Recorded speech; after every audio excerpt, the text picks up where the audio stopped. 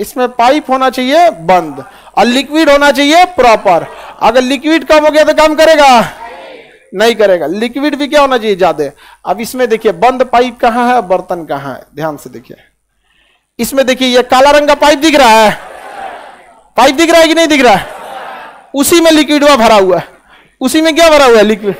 जब ये हैंडल से आगे पीछे करता है ना तो इस पे प्रेशर नहीं पड़ता है। वो प्रेशर मारेगा इस पाइप के थ्रू, इस लिक्विड में। किसमें रहेगा? इस लिक्विड में। अब लिक्विड का प्रेशर ज़्यादा होता है। अब बताइए हम इस लिक्विड पे प्रेशर मारेंगे तो ये आगे बढ़ जाएगा कि नहीं बढ़ जाएगा? बस वही होता है जेसीबी में। वो लगाता है इस लिक्विड पे प्रेशर लिक्विड दूर भागने की कोशिश करता है। और दूर भागेगा तो हथवा को क्या कर देगा? दूर ले आएगा। उसी में आठ दस पाइप रहते हैं सब। कुछ इसको आगे पीछे ले जाता है, कुछ इसको ले जाता है, कुछ इस आगे वाले को ले जाता है। उसी में कई सिस्टम रहता है यार जेसीबी वगैरह में। समझ में आ गई ना क्या? तो ये किस पे काम करता है? हाइड्रोलिक प्रेशर पे। यहाँ पे भी देखिए ये दिख रहा है पाइप। पूरा जेसीबी काम करना छोड़ देगा बस पाइपुआ को लीक कर दीजिए। हल्का सा क्या कर दीजिए, काट दीजिए। तो मेटल का कवरिंग होता है, वो कटेगा नहीं। लेकिन उस भी अगर फट गया पाइप, अब जैसे मान के चलिए ये प्रेशर है। यहाँ पे आप प्रेशर लगा रहे हैं। यहाँ पे। आ, इसके ऊपर रख दिए ट्रेन का इंजन। क्या रख दिए? ट्रेन का इंजन। अब मारे पे हाथी कूदा रहे हैं। तो पाइपा बीचों में से कहीं ना कहीं फटिए जाएगा यहाँ पे। क्योंकि पास्कल का तो नियम है कि द्रव का दाब हर जगह लगे जहाँ कमज़ोर पाएगा, उधर से निकलेगा। इधर से कूदा रहे हैं, हाथी और उधर रखे ट्रेन का इंजन, उसे जरा ना हाथी को फेंक पाएगा, ना ट्रेन के इंजन को, फट जाएगा बीच में से। तो कभी कभी जेसीबी भी क्या होता है ना, ज़रूरत से ज़्यादा, चल जाएगा हिमालय उठाने। जय बजरंग बली।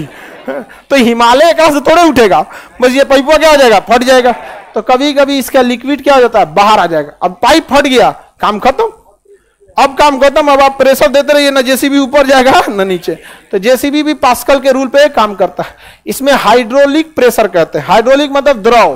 तो ये प्रेशर बिना बिना द्रव के काम करेगा। इसलिए इसे क्या कहेंगे? हाइड्रोलिक प्रेशर हाइड्रोलिक प्रेशर किसी को दिक्कत? थोड़ा सा दबाव लगाने पर वहाँ ज़्यादा काम करता है। पहले ब्रेक वगैरह आजकल ब्रेक भी आ गया ना डिस्क ब्रेक क्या गया? ब्रेक उसमें देखिए डिस्क ब्रेक में ऊपर है को चौकुट बनाया रहता है। उसी में जैसे दबाइएगा ना, जाके चिपक जाता है वहाँ पे। उसका भी लिक्विड खत्म हो जाएगा तो ब्रेक काम नहीं करता। आगे बढ़े येलो कलर क्यों होता है? कंस्ट्रक्शन साइट पे इजीली दिख जाए। इसलिए उसे क्या कहते हैं? येलो कलर में। स्कूल बस को भी येलो कलर ताकि इजीली दिख जाए। एक तो स्कूल बस को येलो दिखाता है क्योंकि इसमें बच्चे हैं, आप इससे सावधान हो जाइए।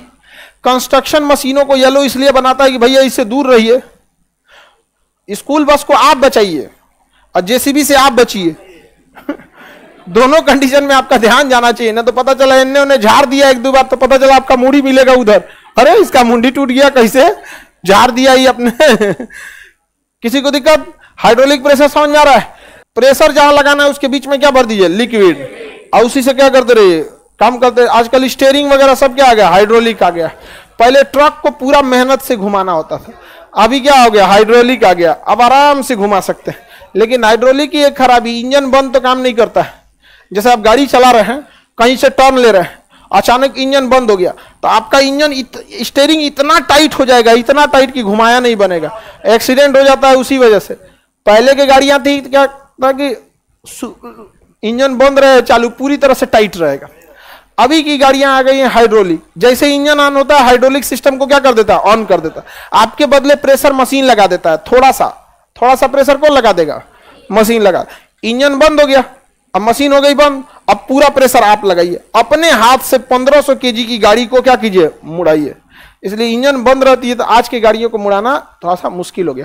तो एडवांसमेंट आ रही है फीचर्स में, गाड़ियाँ हाइड्रोलिक हो रही है।